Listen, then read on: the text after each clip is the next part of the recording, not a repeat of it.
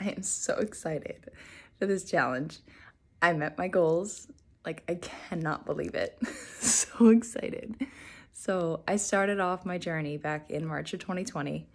Um, I'm a toxicologist for the state of New Hampshire. Um, at the time, I was a quality control analyst for a pharmaceutical company.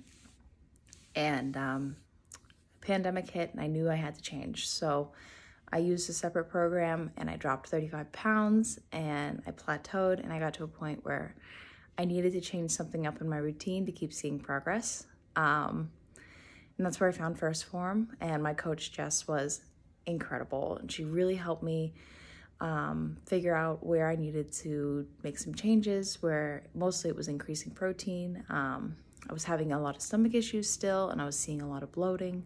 So um, she really helped me kind of tackle down a lot of my gut issues.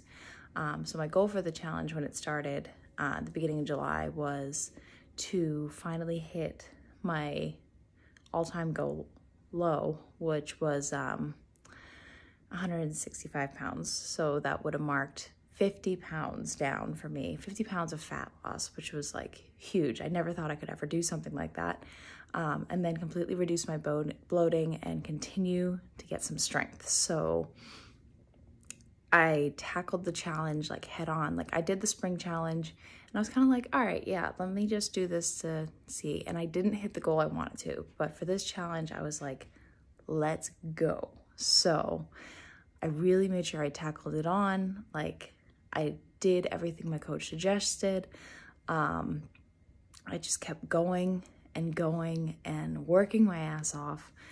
Um, and I kept seeing those changes. I kept pushing myself and doing the challenges and the individual challenges that my uh, coach set out for our group. And I stepped on the scale this morning and I looked at my pictures and I am officially 51 pounds down, which is incredible. My bloating has significantly reduced and I am much stronger than I can say I was in July, which is awesome.